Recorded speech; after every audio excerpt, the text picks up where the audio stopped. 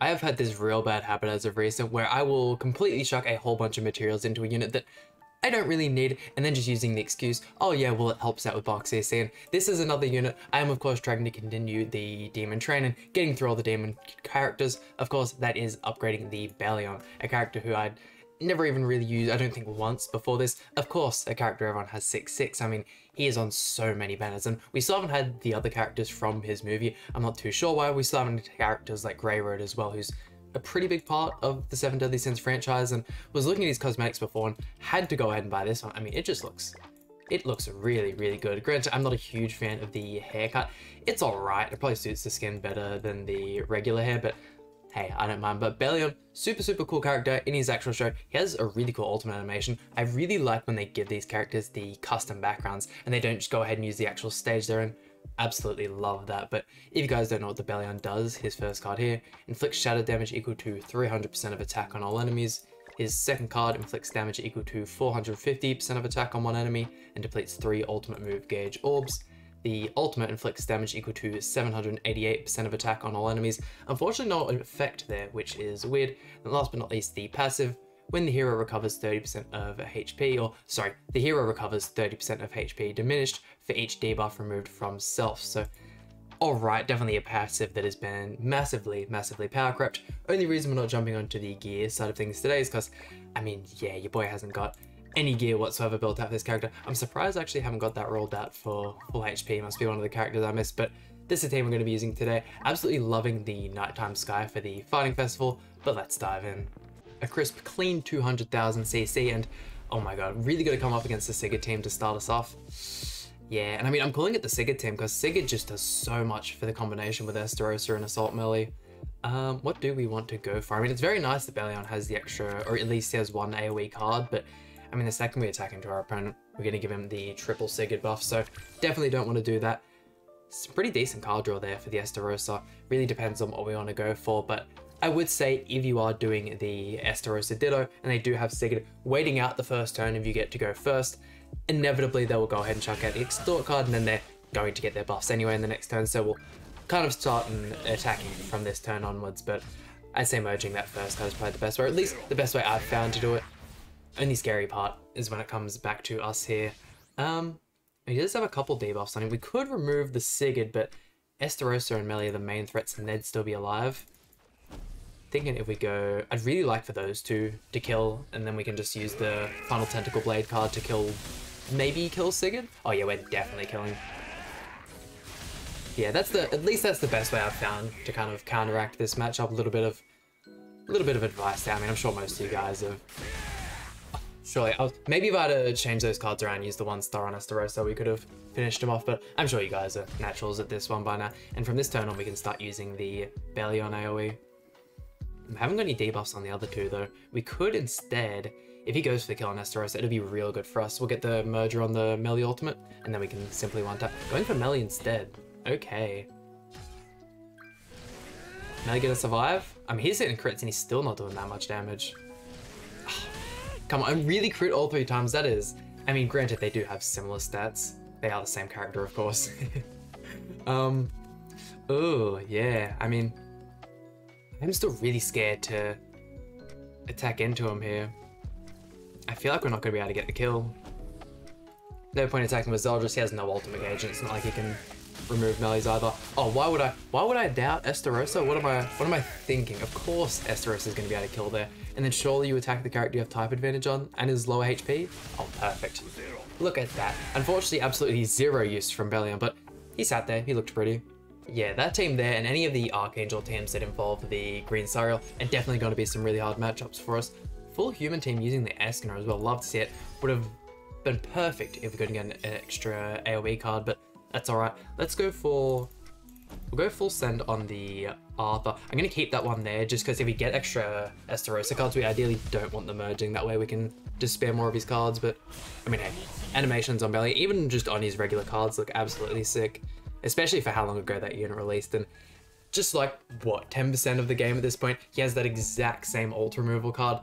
Surely the next character we get. Actually, I did see that we are getting a new toner in the, well, they, I believe she's on Jap in the Japanese version as we speak, at least the time I'm quoting this, but I think she has that exact same ult removal card, so is absolutely everywhere in the game. Let's go one, two, and I might go for the flood instead on you. Yeah, throwing that in there. Trying not to get Arthur very weak because we don't want the Holy Relic procking and cleansing all the debuffs, all that kind of stuff, so finish him off. I doubt this will kill Ban. Ban is such a tank. But can Estarossa defy the odds? Almost. Almost. And then yeah, in this next turn, might let and see if we can get Bellion to cook a little bit. Oh, extra single target? Oh, perfect. perfect. Uh, the Ban is a little scary though. We might have to might have to diverge from that plan. Oh, actually, his Twiggo doesn't have Holy Relic. Let's go. We can we can watch Bellion carve up, absolutely carve up this Ban. Level 90 against the level 90 Bans, so not that big a disadvantage. That could hurt though. Oh, never mind. We're chilling. No crit. Good job, Escanor. I mean, it's it's what you'd expect at this point. Let's see, we'll go... Ah, there's no death effects on him anyways. One, two, and then three. Get the ultimate here and we can kind of finish off with that one. Oh, hold on. He's actually gonna kill. I mean, I, of course, that's what I expected, right? Bellion's, Bellion's godlike.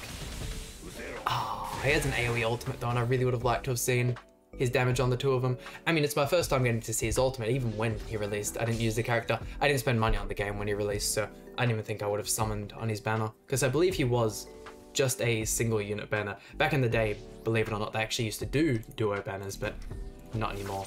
Oh, making people forfeit with Bellion? But I mean, they couldn't keep that. I'm guessing the main reason they didn't do that is because it was just way too much effort making two units on certain weeks and pushing them out where you could just make one unit that week and then do the other in the next. I could imagine that'd be why. Let's go for the double melee first, that way we can see the final attack with all the death effects. I mean, it's not going to be that much, but oh, it should be a decent amount. What are we kind of expecting from Bellion here? 60,000, not bad. I mean, Escanor's at half HP, so there's that. I'm surprised we're not seeing full level 100 opponents. Even, I suppose your team does play into effect. They do like to kind of base the matchmaking on what your team is as well, but surely not. I've run level 9 units all the time because, man, grinding for level 100 right now, it's not so much actually getting the demons done, more so getting the pendants, but yeah, the demon part of it's fine, and I'm trying to save pendants for the ReZero collab because we're going to be getting two new characters. I mean, I did go ahead and waste a whole bunch of pendants and super ranking materials on both this Bellion here and the Green Monspeet. I've been looking to use the Green Monspeet forever now and just never really had the time to do so. Let's... I'm not really scared of Escanor, so I want to attack into you whilst you have Encroach. It's only a level 1 though. See what he can do. 80,000, not bad. Yo, he actually almost killed. That would have been so good. If we had a level 2, that would have been fire. Damn, he actually did a lot of damage. For a level 1, the, the thing about the ult depletion card is it scales with damage so much from the level 1 to the level 2, so with that, we would have easily been able to kill. And he was actually critting on Tarmiel, which I don't know what this man's crit chance looks like, but it must not be half bad, or unless Tarmiel just has terrible crit resistance. And yeah, it doesn't look like he's rushing ult. Look at this kind of Estarossa card draw we've got going here. This is... this is game at that point, oh my. Block on Bellion, which we don't even really have to worry about, because I believe his single target card was Shatter. Oh no, his AoE card's Shatter. Yeah, it's good, better than charge, I think it is. Ignoring resistance is better than charge, but... Mm. Damn, Tarmiel doing no damage. He's really good on certain teams. There's a fun alt control team that I've done a video with him on previously. Uh, let's go one. I would really like to see his damage. I'm gonna pray that that doesn't kill. And go for this here. Please don't kill Tarmiel. Oh, he's too good. Bellion is actually too strong. Oh no. Oh no. Oh, and I forgot we have the... Wait, we still got the debuff on us even though Tarmiel died? Surely not, right? Oh, well, let's let's just skip on to the next match anyways. And such a long loading time on that one, and I'm not sure I've already said this, but such a missed opportunity, them not giving us the nighttime for when you're actually fighting in the festival. Run the Cusack though. Uh, due to the fact that we did get the extra AoE and he's not running Sigurd, I feel pretty confident attacking into him here. The three debuffs is going to be kind of annoying, but as long as we can get an extra AoE, we can simply kill off his Assault Melee and Estarossa. It's what? We have two out of six cards in the team. Oh, that's that's on me there. My math was so slow. Oh my god. Two out of six cards. So what, a one and third chance of getting an AoE? Surely we can just pull one AoE card. That's all I ask for, Netmarble. Please, and if it wasn't to lag. Oh yeah, look at that. And we get the Murder as well. My boy Bellion's going crazy.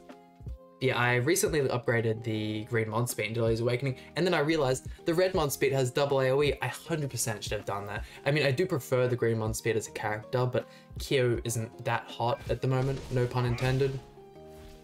But uh, yeah, no, I really want to try out a couple teams with the green Monspeet, so definitely expect that in the near future. Doesn't synergize super well with the Estarossa, and it's just a little bit weird chucking the Kyo on the team. But there we go with with Estarossa surviving that one, I'm sorry, man. It's it's all over. Go for the... Okay, wants to target anyone. Sweet. That one there, and easy, easy forfeits. Look at that victory screen.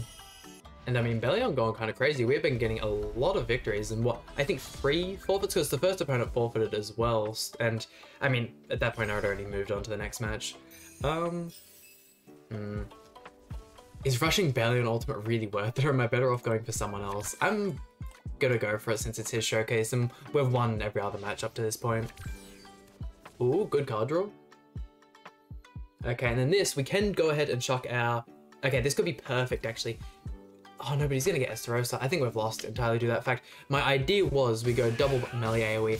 Throughout the, the Bellion AoE, that'll be the three Darkness procs we can hopefully get an extra AoE. We're just gonna have to go full send on him. That's a shame. Um. Well, actually, still go for this here. It's gonna be less darkness procs, but the way I was looking at it is, oh look at that, even baiting the evasion food. Surely we can get the kill here because of that, right? Barely, it was your purpose to proc the evasion food. Now Estarossa just has to crit and kill, and we are not getting anywhere near. Oh, we're decently close, but. Ah, and then look, it takes over to his turn. He gets his triple buff. That was such a good chance to show off the ultimate as well. Oh, we even got the we even got the evade food proc. Oh no. If he didn't have the evasion food either, we would have we would have won that match. What a shame. What a shame. Can't even see the damage number off his Estarossa either. Well, I really want to do just one more match. I'm, I'm going to give it one more chance to get off the full Bellion Ultimate. But there we go, that just about does it for today's video. I did end up doing an extra match and it was a complete mistake. Unfortunately, did not go ahead and get the ultimate, so uh, well, what can you what can you do? I still really enjoyed using the Bellion. I'm surprised we got as many of those good matches as we did, us getting the wins. A couple forfeits, which is really nice to see, but who knows when we'll get the rest of the characters from his movie. Still haven't had characters like Pump, all that kind of stuff, so, ah well, but that about does it for today's video. Hope you guys enjoyed. Please hit like, and subscribe. Really means a lot to me, and I'll see you guys for some more Grand Cross content.